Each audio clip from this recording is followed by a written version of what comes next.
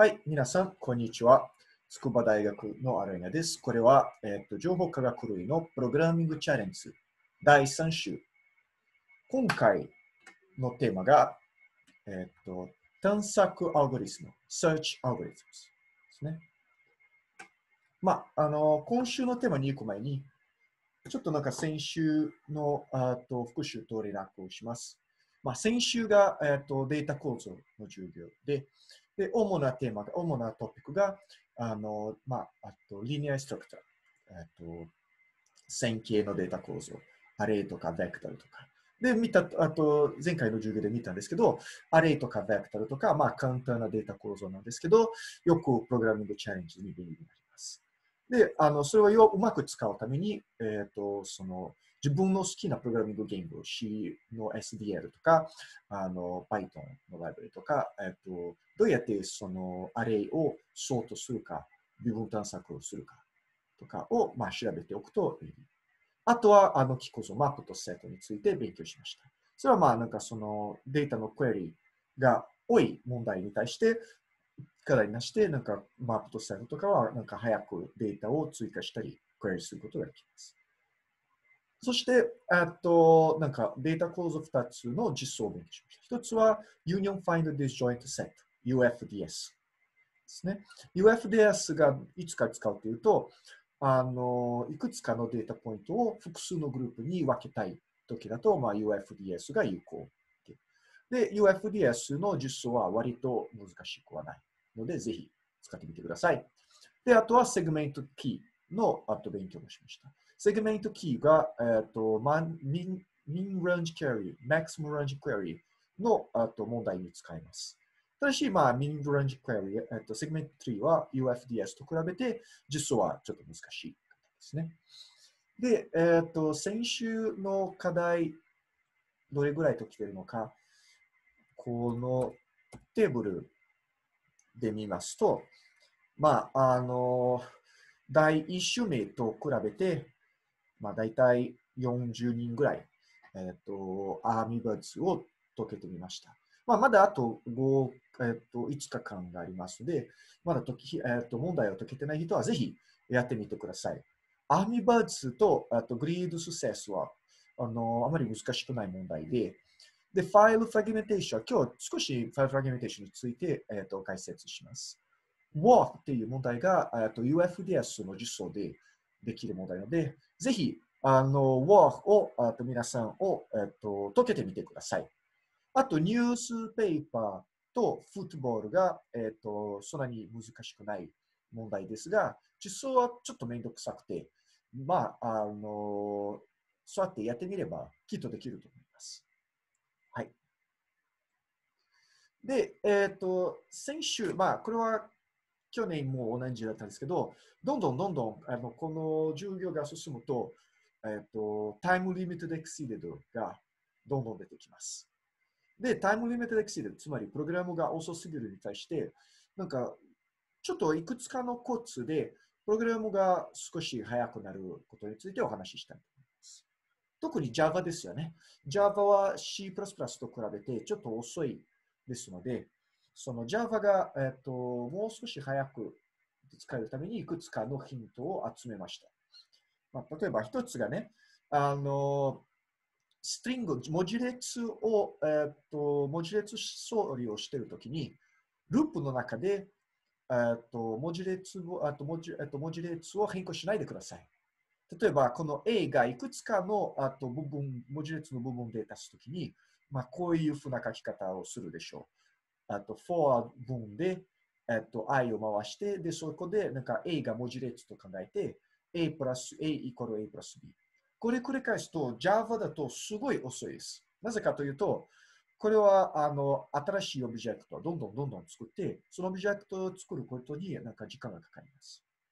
それをまあこういうふうなループを書きたいときですと、この書き方じゃなくて、 StringBuilder を使ってください。 StringBuilder って何かというと、あのいくつかの文字列は一つのオブジェクトに入れて、最後にこの StringBuilder、to string で一気にすべての文字列を、えー、と足します。ストリングビューでなんかこの、あと、ストリングの足し算のフォア文で、ストリングビューで使うと倍ぐらい、えー、と速くなりますので、ぜひこれを覚えておいてください。あと、あの、アレイリストですね。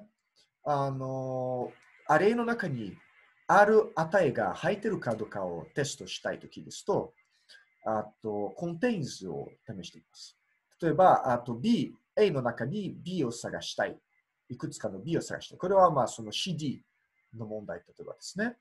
で、えっ、と、A contain B の、えっと関数が、えっと O of N、つまり、コンテインが A のすべての、えっとアイテムをチェックしますので、割と遅いですね。で、あの、検索が多いときの場合ののの時ですと、えっと、アレイリストのコンテンじゃなくて、ハッシュマップのコンテンを使ってみてください。ハッシュマップが、まあ、あの、その、ハッシュマップのフォア文が、えっと、ハッシュマップのイテレータが、まあ、問題、それなりの問題があるんですけど、そのコンテンをテストするときに、ハッシュマップのコンテンがすごく速くて、えっと、ぜひ使ってみてください。あと、あと、Python でも、とタイムリミットエクシードがあり、あと、見つかっている人もいると思いますので、あと、Python をもっと早く走るためにいくつかのヒントを集めました。まあ、まずは、まあ、Python は全体的に C++ が倍ぐらい遅くなる可能性がありますので、え、ー、とぜひ、え、ー、と、アルゴリズムをもっときちんと書いて、ちゃんとプルーンをしましょう。ですね。です。そのプルーンをするために、まあ、今日も少し話しますが、ゆっくり問題を、問題文を読んで、どこでプルーンできるのかをやってみたいですね。例えば、CT の問題の場合ですね、去年が、なんか今年は CT はあの課題の中に入ってないんですが、えー、っと、まあ、これで、その、なんか、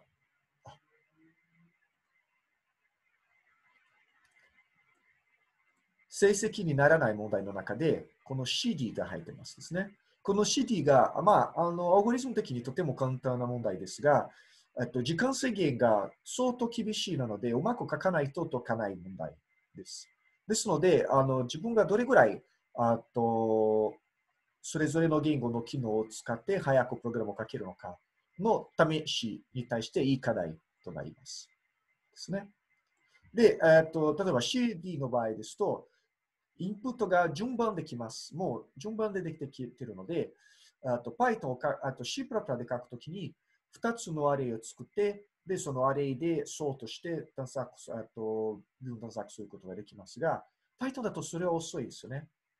ですので、Python だとそのインプットがすでにソートされてるを使わないと、あと Python で取らないので、えっと、まあ、ソートされたインプットがどうやって探索できるのかを調べておくと面白いですね。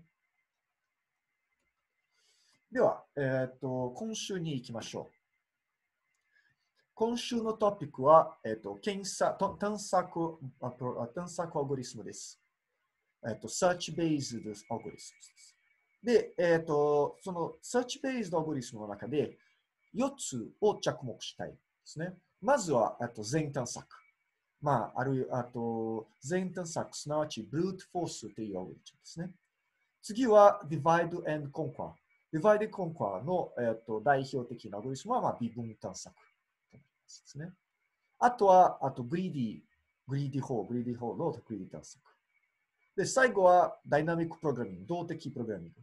動的プログラミングが次回のコースですので、今回のレクチャーは、えーと、最初の3つえー、と着目します。まあ、まず、探索問題って何ですかですね。まあ、探索問題が、えっ、ー、と、毎日の生活でもあると思うとかの例を挙げると分かりやすいと思いますが、例えば出かけるときに忘れ物ないか。それはな探索問題ですね。例えば、なんか、あの自転車の会議とか、えっ、ー、と、財布はどこに置いたかを、まあ、探すときに、いくつか、まあ、家のベッドの上ベッドの上とか、そのお風呂の中とか、テーブルの下とか、いくつかの場所に探して、えっ、ー、と、どこかに探し物を見つかる。ですね。それは、あとそう考えると、探索問題の中で、 objective、目的、それは探し物、鍵、財布とかですね。それを、ま、探しているものは objective と言います。あとは探索空間。探索空間というのは、その、どこで探せるどこで探せるのすべての場所ですね。つまり、なんか家で鍵を探しているときに、それは家のすべての全箇所です。重要なところが、探索、なんかもっと探索問題を解くときに、探索空間の定義は一番重要なところですね。例えば、家を探索して、家えっと、家で鍵を探しているときに、ぜひ、えっと、冷蔵庫の上にないって考えて、冷蔵庫の上に探さないっていう決めて、最後は冷蔵庫の上にでした。それは、あの、探索空間の定義に失敗したから。で、探索問題は解けなかったです。同じくプログラムを書くときに、探索空間って何ですかってよく考えてプログラムを組みましょう。では、えー、っと、さっきの定義を見ると、探索問題がいくつかの回答を何かの順番でチェックして、最後に、えっと、解決を、えー、まあ、なんかその、答えを見つけます。ですね。そう考えると、それぞれの回答が正しい、それとも間違ってるの、えっと、セットすることができます。または、正しいと間違ってるじゃなくて、true, false じゃなくて、その quality score、評価、なんか、評価関数を与えることもできます。で、えっ、ー、と、そのすべての回答のセット、まあ、つまり探索空間がソートができます。何かソートして、そのソートによって探索空間の探索順番が決めます。あの、プログラミングチャレンジのの問題でも、他のプログラムでも、あとなんか実世界の問題でも、こういうふうな定義であの説明することができます。ですね。まあ実は最後に見るんですが、これはプログラミングチャレンジじゃなくて、研究の中でも使うアイディアですので、とてもいいモデルとなります。では、いくつかの例を見ましょう。先週の問題の中を見ると、第1種目のトラフィックライツと第2種目のファイルフラグメンテーションが探索問題として、えーと、見れます。ですね。例えば、あとトラフィックライツが、えっ、ー、と、何秒、いつ、なんかその、いくつかの信号が、えー、と同時に青になるっていう問題です。それは探索問題として考えると、いつ時間が S1 から、えー、と1万8000から1から1万8000までを考えて、じゃあ S イコール1を調べて、あの信号はすべて青かどうかをテストする。じゃあ S イコール2を調べて、えっと、信号は全部青かどうかをテストする。じゃあ S3 を調べて S4、5、6、一つずつ S をチェックして、ようやく、えっと、正しい S を見つかる。それは S で、っと信号を探索している。っていうこと、っていうことです。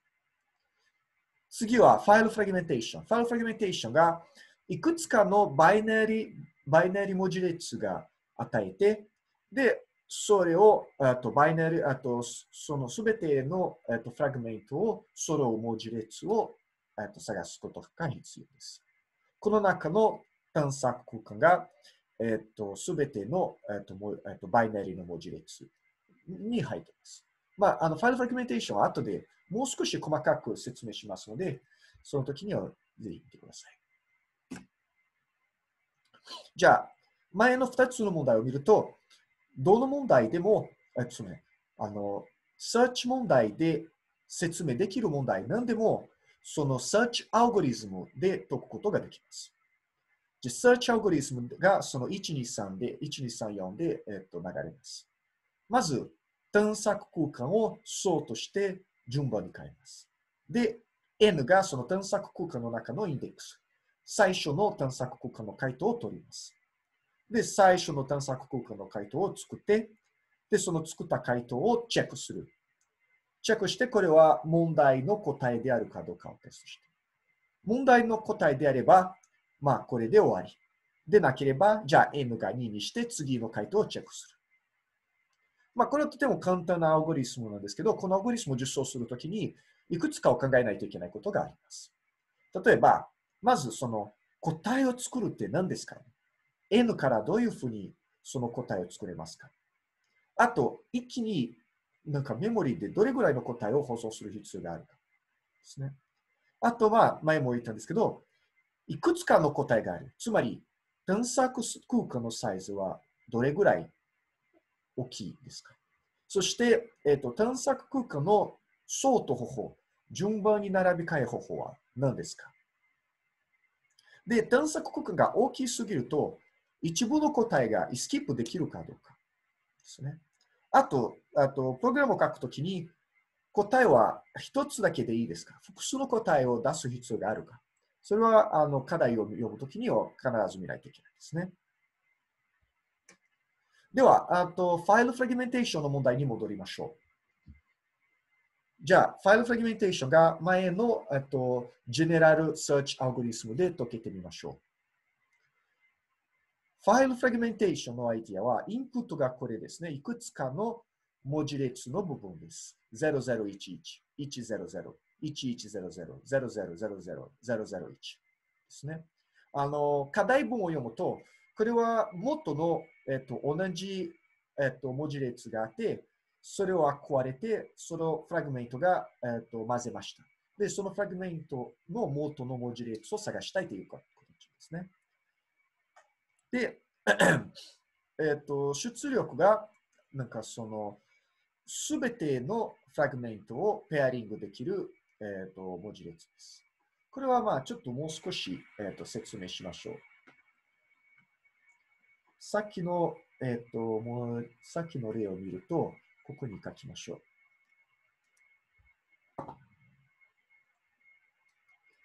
こ回答が001100ですね。はい、じゃあ、ここで、えっ、ー、と、001100。これは答えの問題ですね。この答えの問題からインプットデータを、これはひどいですね。インプットデータを書き,、ま、書きます。インプット。例えば、えっ、ー、と、色変えて、お、お、色変えない。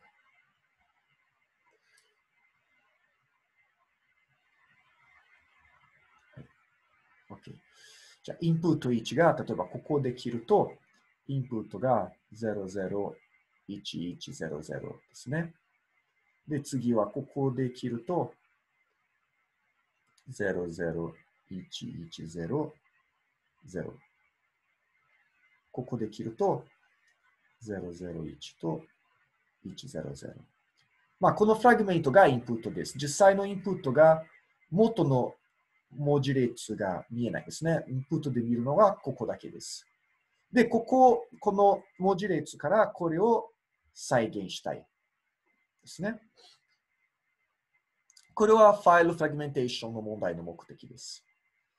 では、実はこれを文字列を知らないので、まずこの文字列のサイズが重要。まあ、これはとても簡単です。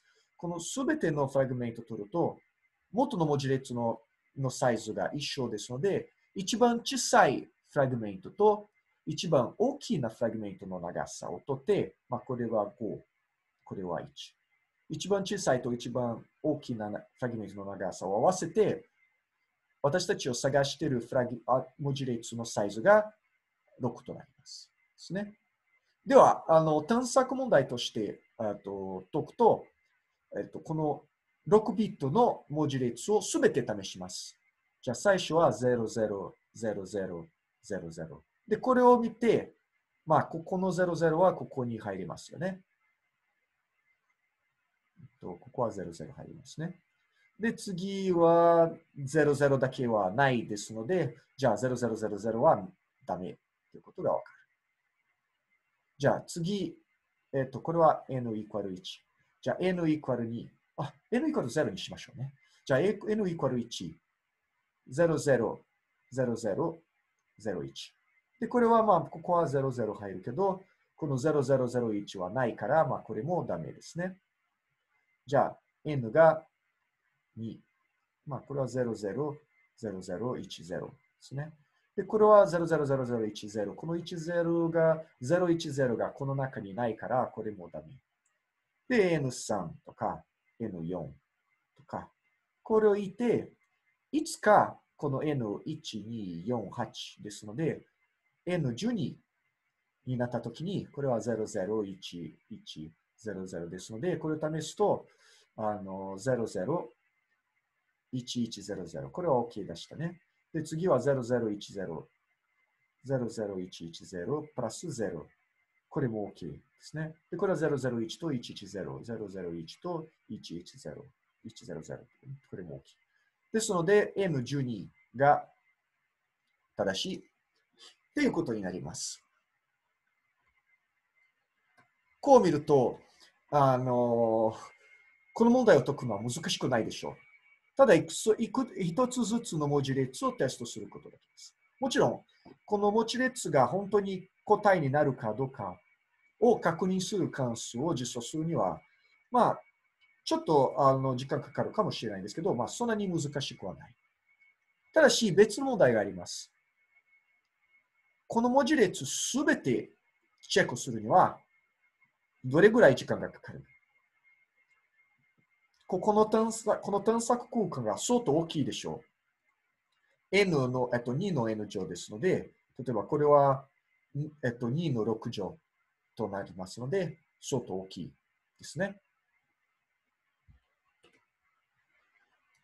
まあ、あの、この Generic Search Algorithm、まあ、この探索アルゴリスムだと、えっと、ファイルフラグメンテーション問題の回答を見つけ、えっと、見つか、えっと、を見つけます。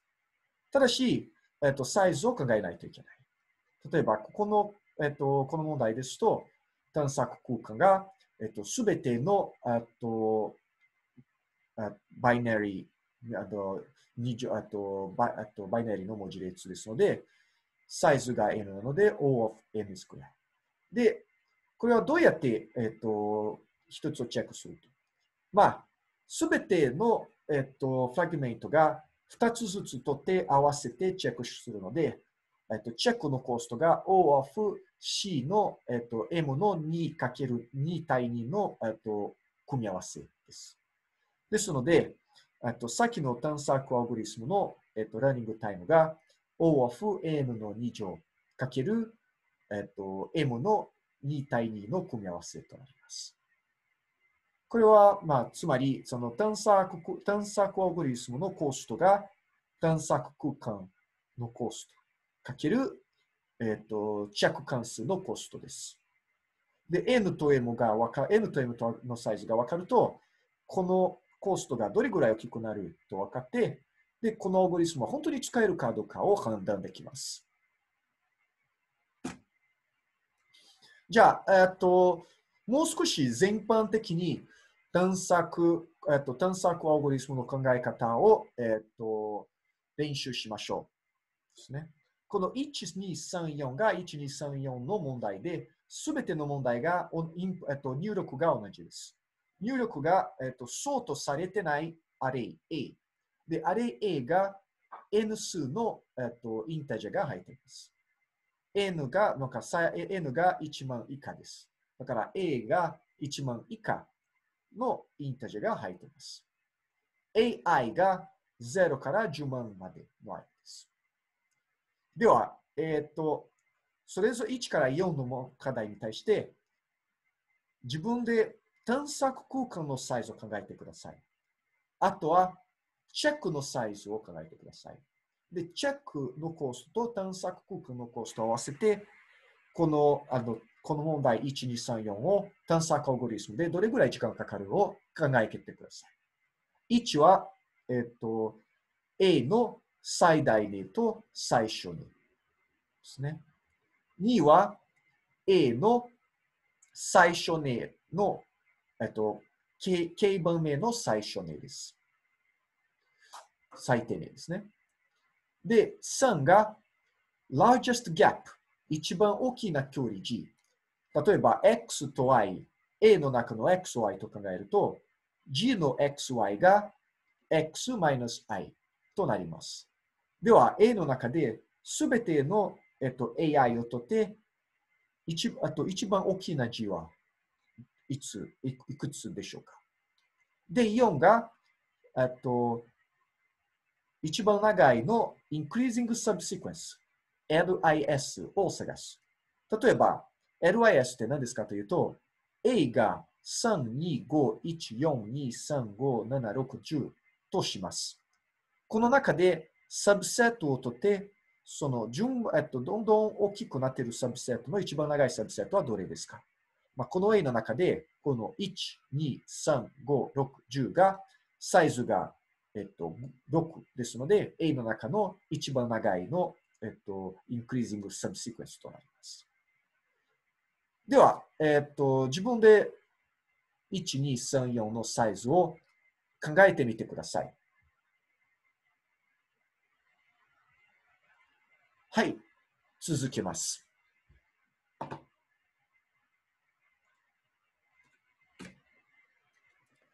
じゃあ、1ですね。A の、えっと、最大と最初にを選びますこれは O of N ですね。なぜかというと、えっと、A の一つずつチェックして、で、えっと、一番大きいと一番小さいをキープする。まあ、マックスとミンの変数ですね。で、マックス、新しい AI が来ると、マックスとミン、えっと、マックスの変数とミンと変数と比較するのは O of 1ですね。ですので、すべてをチェックすると O of N。まあ、これは簡単ですね。じゃあ、えっと、K 番目の小さいな値を探すことです。これはまあ、二つのやり方を考える。一つが、えっと、K 回、えっと、一番小さい値を探して、あ見つかるときにその一番小さい値を抜けます。それは、えっと O of N かける K ですね。えっと、前の O of N で K 回を繰り返すと O of NK。ただし、えっと、K が、っとサイズがわからないので、最悪の場合だと、えっと、O of N2 乗となります。もう一つのやり方は、K と関係なくて、えっと、A をそうとして、で、えっ、と、k 番目の、えっ、と、値が k 番目の小さい値となります。それは、まあ、ソートが n ログ n ですので、こちらのコストが O of n ログ。まあ、見てる通り、同じ探索アルゴリスムですと、えっと、やり方を少し変えると、あの多分前処理であとあと A をソートすると、アルゴリスムが速くなります。じゃあ、えっと、largest gap。さっきのラージェスト、大きい、一番大きなギャップですね。大きなギャップの一つのやり方は、すべてのペアをテストする。1と、えっと、A1 と A2、A3、A4、A5 とか。A2 と A3、A4、A5。A3 と4、5とかですね。これをすると、えっと、O of N の2乗となります。ですね。まあ、すべて2回を走ってるからです。だけど、少し考えると、えっと、まあ、A はすべてインタジャですので、A の中の大きなギャップが最初値と最大値の間です。マックスム A マイナスミニマム A が最大のギャップ。ですので、実は問題3が問題1と同じです。その考え方もとても重要ですね。なんか、あの、二つを探してるじゃなくて、ギャップを探してるじゃなくて、マックスムとミニムを探してます。ですので、えっと、探索空間の考え方を変えると、O of N, N2 乗から O of N に、えっと、オグリスムが速くなります。4が longest increasing subsequence ですね。まあ、あの、一番単純な考え方からいくと、まあ、サブシクエンスですので、すべてのサブシクエンスを探します。すべてのサブシクエンスが N サイズの、えっと、微分、えっと、2分の文字列です。ですので、O of N の2乗ですね。だから簡単な全探索だと O of N の2乗となります。それはとてもコストが高いですので、まあ、来週 dynamic programming で、まあ、この問題も見ますが、 dynamic pro 動的なプログラミングで O of N の2乗があります。で、もう少し探すと、なんか greedy 法のあとアルゴリズム、なんか LAI のためのグリーディ法のアルゴリスムそれは O of N log K。それはぜひ自分で、えーと、調べてみてください。では、えーと、次、とそれぞれの、えーと、前探索とグリーディ法と,、えっ、と微分探索を説明します。それは次のビデオでなります。またその時に見ましょう。